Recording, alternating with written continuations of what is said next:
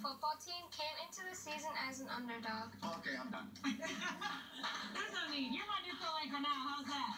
So last year, Sterling High School only had one win and nine losses, but they've had a total turnaround. So to say, say the last part. Fox 29 10 p.m. anchor Ian Page is what the team in Somerdale, New Jersey. Hi, Ian. Hi, Ian. Hey, how you, was a nice intro. Thank you very much. I got these guys to quiet down for a minute. We're at, we're at Sterling High School, all right, in Somerdale, New Jersey, because they got a big game. You can see these guys on Saturday. So, is it lit? Is it lit?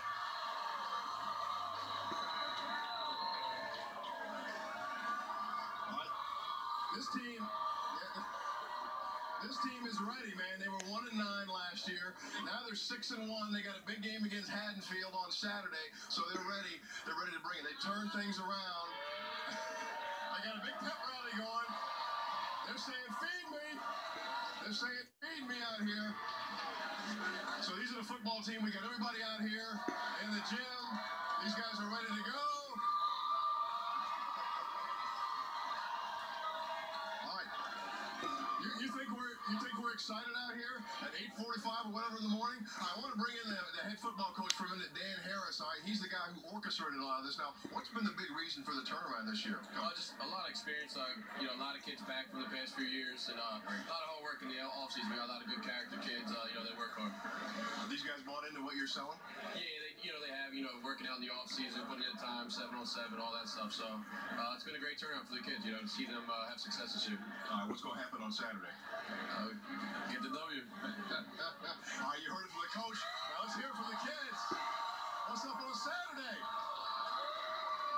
Saturday they got a big game against Haddonfield. It's going to be at Cherry Hill West. So let's get the band going because we're going to get it ready. Let's go. Crank it up.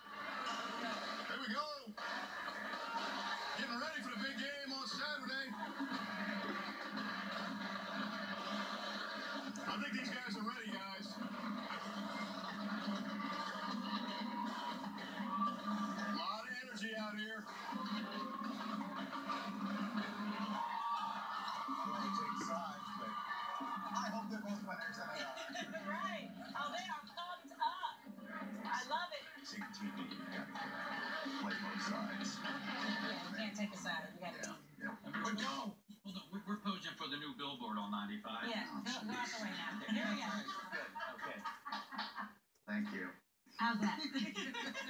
Thank you, Braden. Nice job. Braden